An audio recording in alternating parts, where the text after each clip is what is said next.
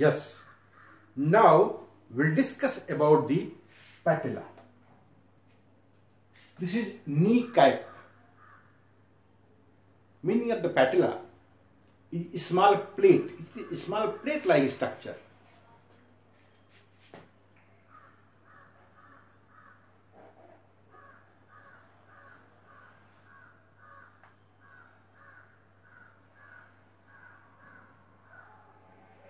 This is anterior view of the patella.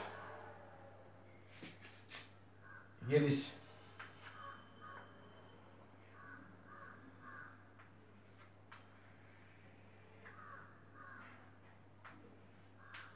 This is apex. It is triangular in shape. This is apex. This is base. This is base. And this is lateral border. This is lateral border.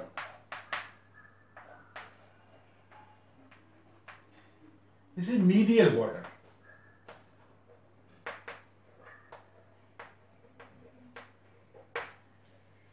Patella is largest sesamoid bone present in tendon of the quadriceps femoris muscle.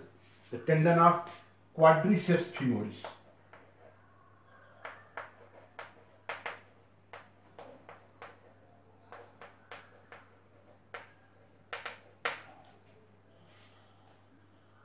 It has base or superior border base are superior border.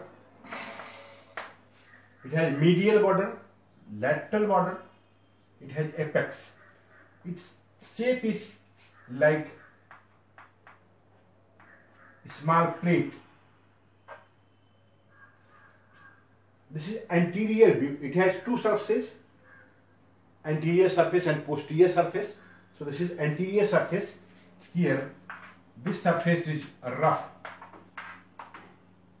if you turn like this you can see posterior surface so this is posterior surface.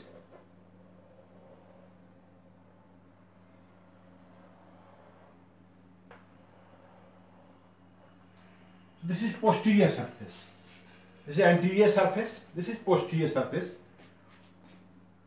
About one third of the one fourth part of the posterior surface. This is one fourth part of the posterior surface. Is rough it is non-articular it provides the attachment.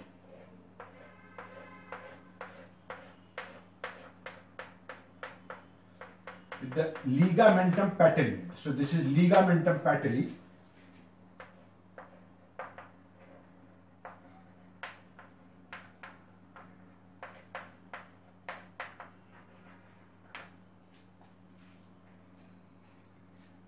and the rest part upper three fourth part is divided into two region two portions by a vertical ridge this is a vertical ridge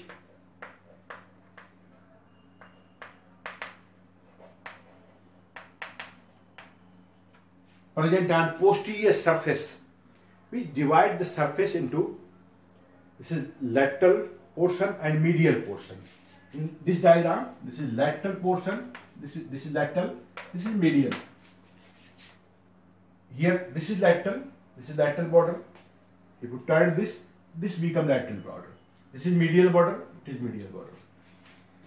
So this posterior surface, this portion is upper three-fourth part is articular it is divided into two part by vertical ridge. This is vertical ridge. It is divided into lateral part and medial part. Medial part again divided by a vertical ridge. This is another ridge. It is ill-defined ridge. So here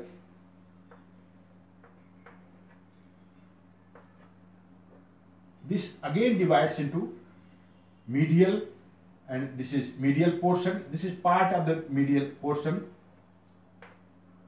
It lies here. If you see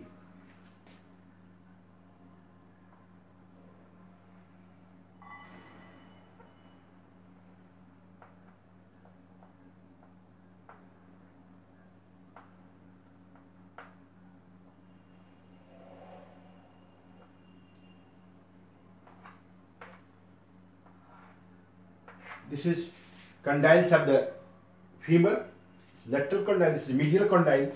Here is position of the patella. This is position of the patella.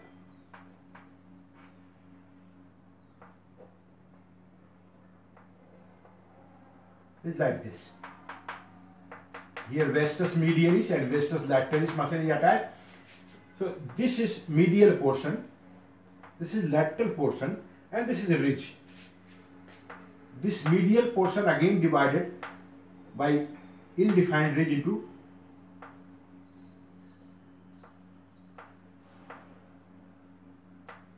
this medial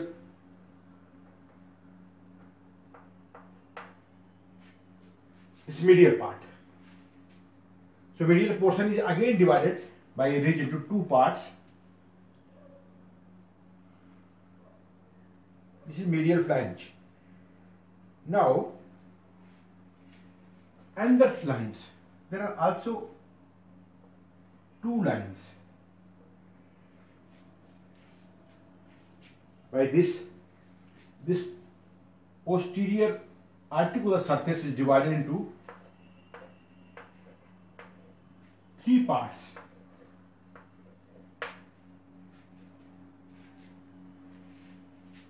So, posterior surface this is lowermost part, middle and superior part.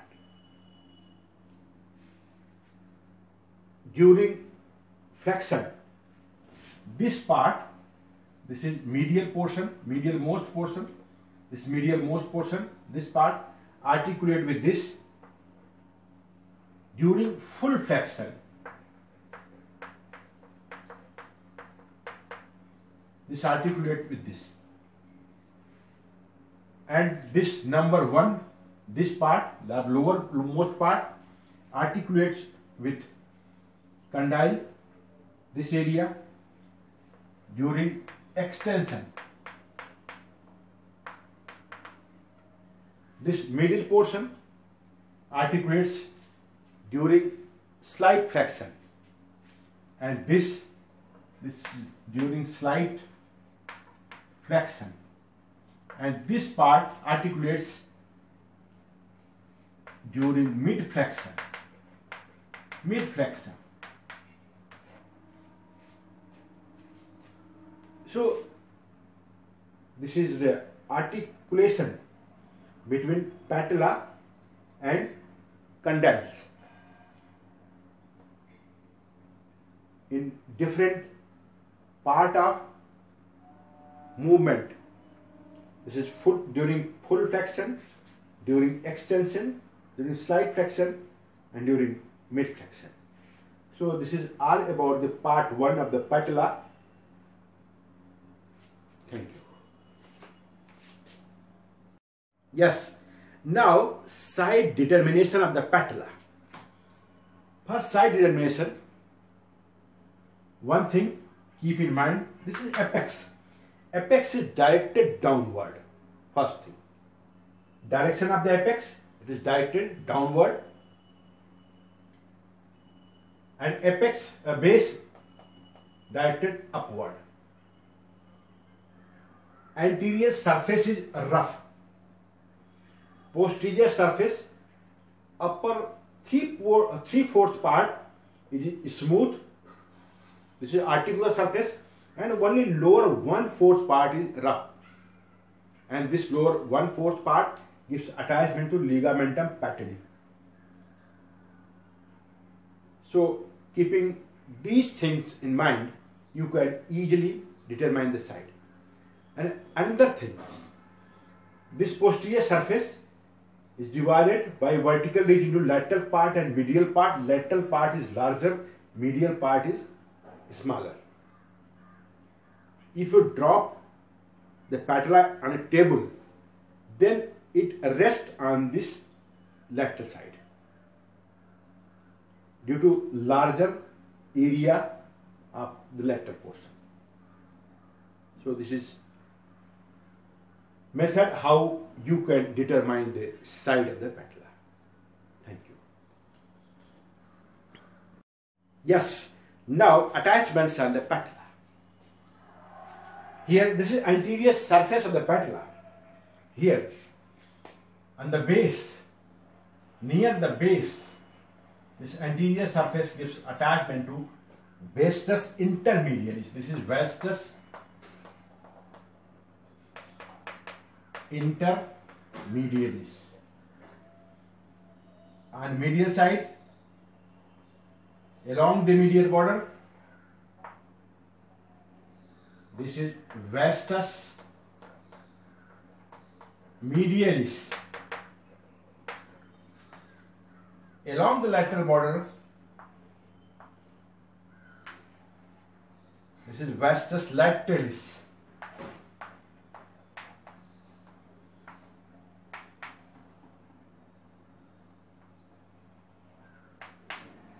Another muscle lies here, just anterior to the vastus intermediaris. This is rectus femoris. This is rectus femoris. So there are four muscles attached on the anterior surface of the patella. These are quadriceps femoris. These muscles are known as quadriceps femoris. And on posterior surface, this area is articular, which articulates with the condyles and intercondylar area of this uh, femur.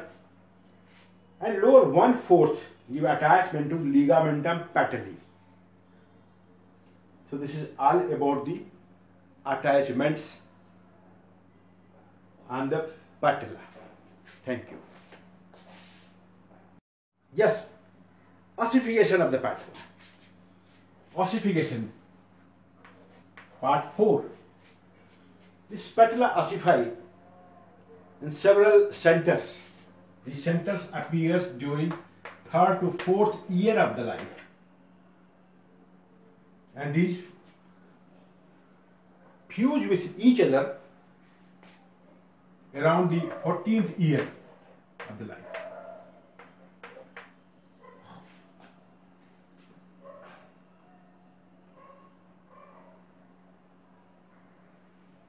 Sometimes there is non-union, non-fusion of the some centers. Here is superolaterally, like this.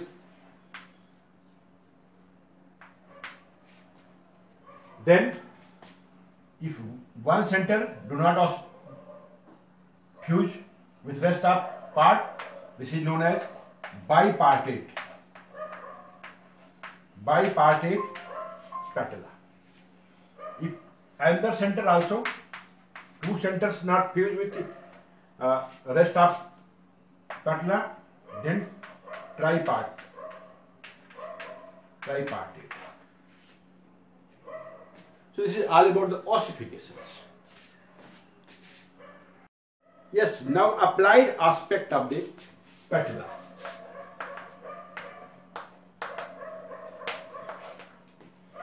In this diagram, this is femur. This is condyle of the femur. This is tibia. This is fibula. And here is position of the patella. This is position of the patella. This is position of the patella. Here muscles are attached like this. And here is ligamentum patelli. This is ligamentum patelli. This is tibial tuberosity where this attached.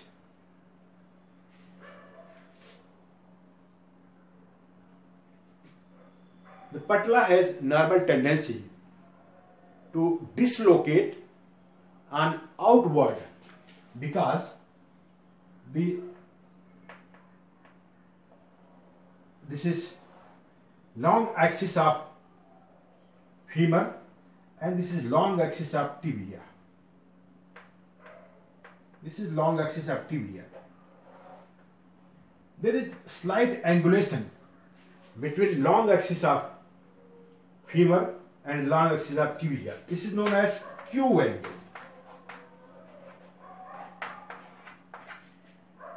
Due to this Q angle, this patella dislocate on lateral side, this side. So this is all about the applied aspect of the patella.